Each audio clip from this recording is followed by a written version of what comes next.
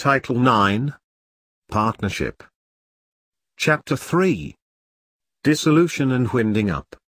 Article 1828 The dissolution of a partnership is the change in the relation of the partners caused by any partner ceasing to be associated in the carrying on as distinguished from the winding up of the business. Article 1829 on dissolution the partnership is not terminated, but continues until the winding up of partnership affairs is completed. Article 1830. Dissolution is caused 1. Without violation of the agreement between the partners. A. By the termination of the definite term or particular undertaking specified in the agreement. B. By the express will of any partner, who must act in good faith when no definite term or particular is specified. c. By the express will of all the partners who have not assigned their interests or suffered them to be charged for their separate debts, either before or after the termination of any specified term or particular undertaking. d. By the expulsion of any partner from the business bona fide in accordance with such a power conferred by the agreement between the partners. 2 in contravention of the agreement between the partners, where the circumstances do not permit a dissolution under any other provision of this article, by the express will of any partner at any time. 3. By any event which makes it unlawful for the business of the partnership to be carried on or for the members to carry it on in partnership. 4. When a specific thing which a partner had promised to contribute to the partnership, perishes before the delivery, in any case by the loss of the thing, when the partner who contributed it having reserved the ownership thereof, has only transferred to the partnership the use or enjoyment of the same, but the partnership shall not be dissolved by the loss of the thing when it occurs after the partnership has acquired the ownership thereof. 5. By the death of any partner. 6. By the insolvency of any partner or of the partnership. 7. By the civil interdiction of any partner. 8 by decree of court under the following article. Article 1831. On application by or for a partner the court shall decree a dissolution whenever 1. A partner has been declared insane in any judicial proceeding or is shown to be of unsound mind. 2. A partner becomes in any other way incapable of performing his part of the partnership contract. 3 a partner has been guilty of such conduct as tends to affect prejudicially the carrying on of the business. 4. A partner willfully or persistently commits a breach of the partnership agreement, or otherwise so conducts himself in matters relating to the partnership business that it is not reasonably practicable to carry on the business in partnership with him. 5. The business of the partnership can only be carried on at a loss.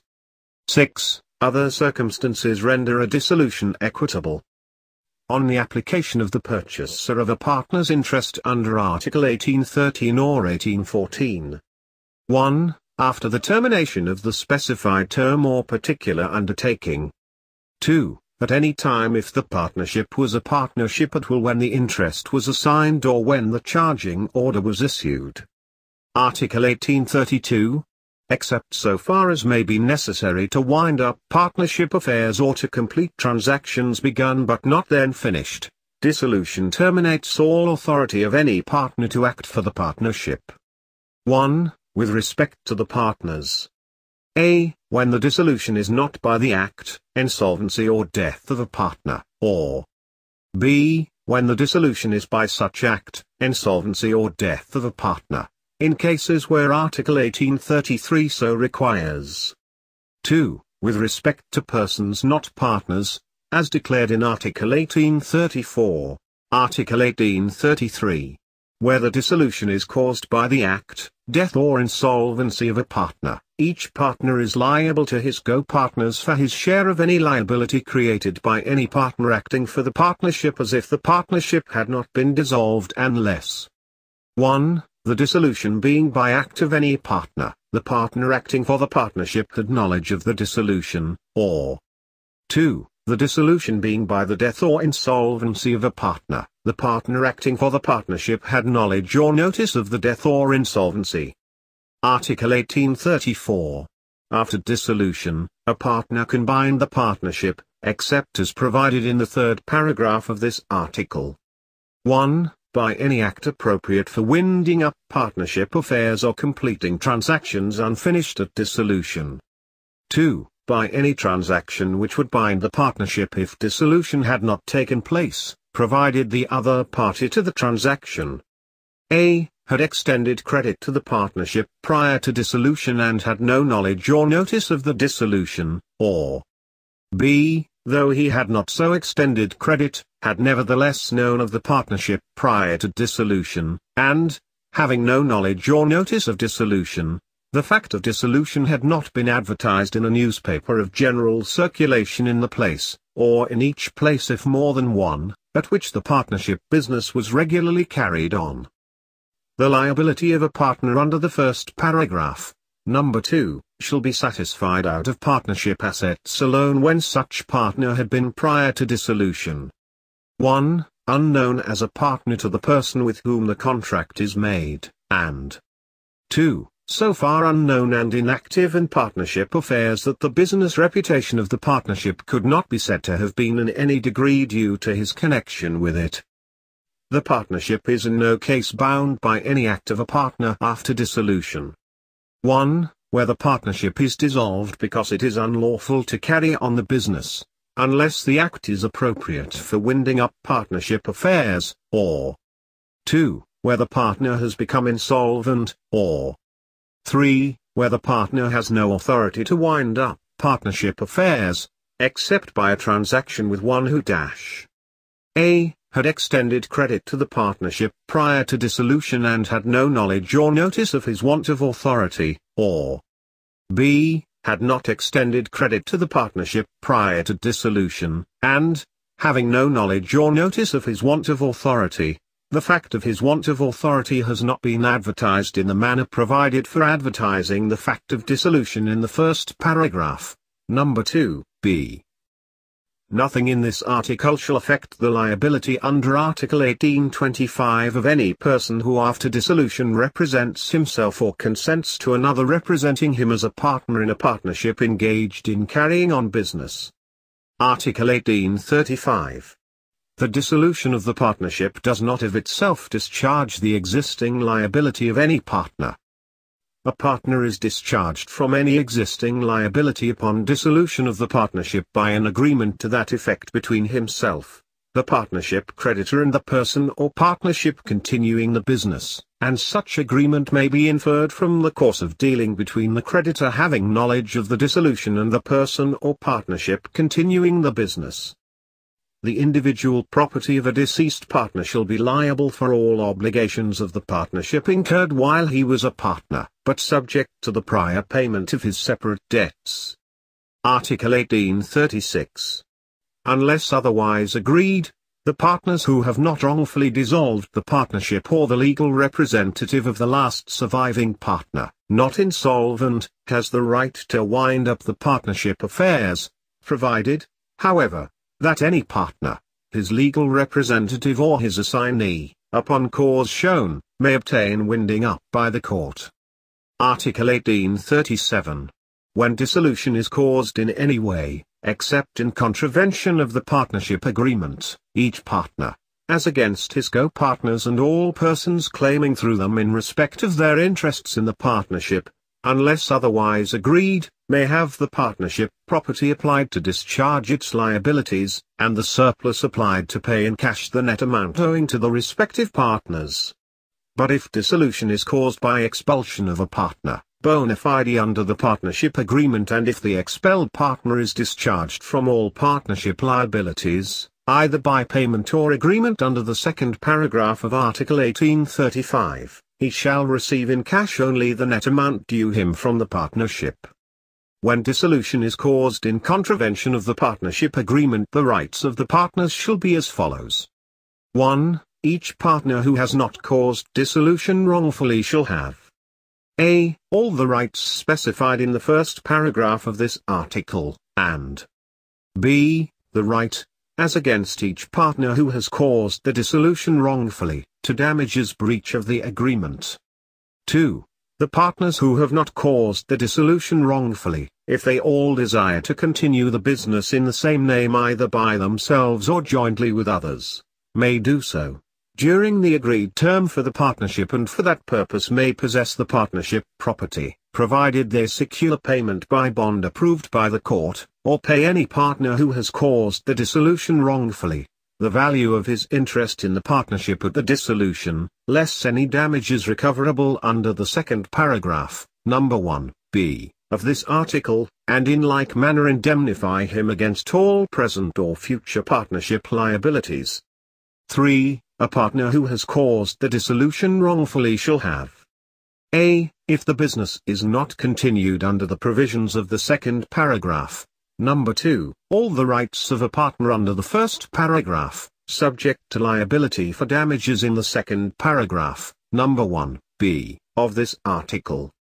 b. If the business is continued under the second paragraph, number 2, of this article, the writers against his co-partners and all claiming through them in respect of their interests in the partnership, to have the value of his interest in the partnership, less any damage caused to his co-partners by the dissolution, ascertained and paid to him in cash, or the payment secured by a bond approved by the court, and to be released from all existing liabilities of the partnership, but in ascertaining the value of the partner's interest the value of the goodwill of the business shall not be considered. Article 1838. Where a partnership contract is rescinded on the ground of the fraud or misrepresentation of one of the parties thereto, the party entitled to rescind is, without prejudice to any other right, entitled 1. To a lien on, or right of retention of, the surplus of the partnership property after satisfying the partnership liabilities to third persons for any sum of money paid by him for the purchase of an interest in the partnership and for any capital or advances contributed by him.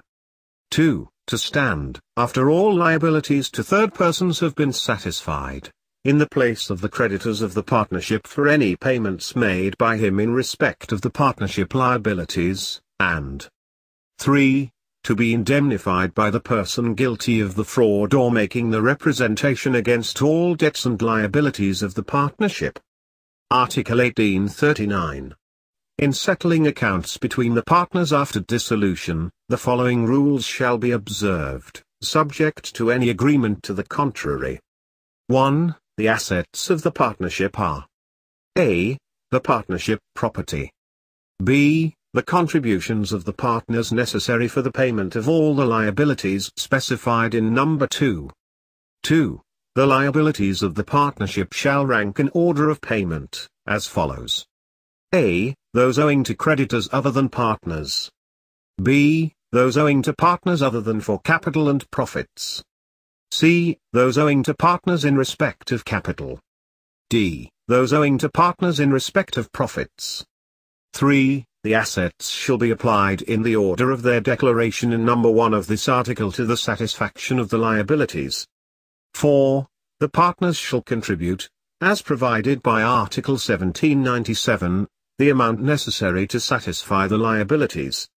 5. An assignee for the benefit of creditors or any person appointed by the court shall have the right to enforce the contributions specified in the preceding number. 6. Any partner or his legal representative shall have the right to enforce the contributions specified in number 4, to the extent of the amount which he has paid in excess of his share of the liability. 7. The individual property of a deceased partner shall be liable for the contributions specified in number 4. 8. When partnership property and the individual properties of the partners are in possession of a court for distribution, Partnership creditors shall have priority on partnership property and separate creditors on individual property, saving the rights of lien or secured creditors. 9. Where a partner has become insolvent or his estate is insolvent, the claims against his separate property shall rank in the following order. A. Those owing to separate creditors. B. Those owing to partnership creditors. C. Those owing to partners by way of contribution. Article 1840. In the following cases creditors of the dissolved partnership are also creditors of the person or partnership continuing the business. 1. when any new partner is admitted into an existing partnership, or when any partner retires and assigns, or the representative of the deceased partner assigns, his rights in partnership property to two or more of the partners, or to one or more of the partners and one or more third persons, if the business is continued without liquidation of the partnership affairs. 2. When all but one partner retire and assign, or the representative of a deceased partner assigns, their rights in partnership property to the remaining partner, who continues the business without liquidation of partnership affairs, either alone or with others. 3. When any partner retires or dies and the business of the dissolved partnership is continued as set forth in Nos. 1 and 2 of this article, with the consent of the retired partners or the representative of the deceased partner, but without any assignment of his right in partnership property. 4. When all the partners or their representatives assign their rights in partnership property to one or more third persons who promise to pay the debts and who continue the business of the dissolved partnership. 5. When any partner wrongfully causes a dissolution and the remaining partners continue the business under the provisions of Article 1837, second paragraph, number 2, either alone or with others, and without liquidation of the partnership affairs. 6. When a partner is expelled and the remaining partners continue the business either alone or with others without liquidation of the partnership affairs. The liability of a third person becoming a partner in the partnership continuing the business, under this article, to the creditors of the dissolved partnership shall be satisfied out of the partnership property only, unless there is a stipulation to the contrary.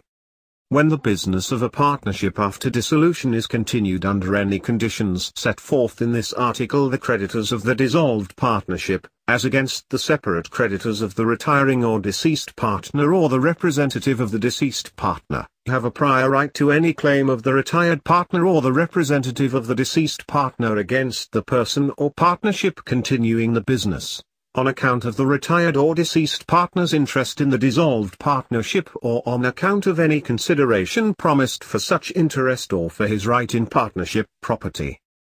Nothing in this article shall be held to modify any right of creditors to set aside any assignment on the ground of fraud. The use by the person or partnership continuing the business of the partnership name, or the name of a deceased partner as part thereof, shall not of itself make the individual property of the deceased partner liable for any debts contracted by such person or partnership. Article 1841.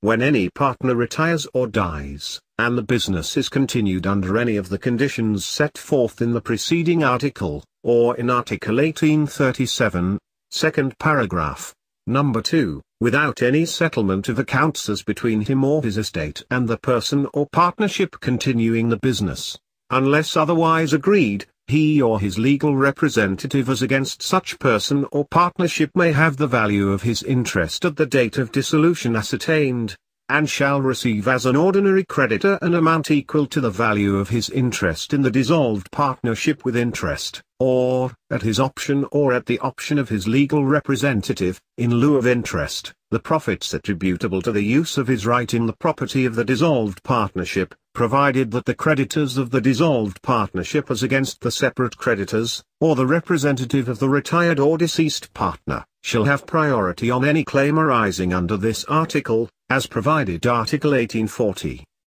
Third paragraph. Article 1842. The right to an account of his interest shall accrue to any partner, or his legal representative as against the winding up partners or the surviving partners or the person or partnership continuing the business, at the date of dissolution, in the absence of any agreement to the contrary.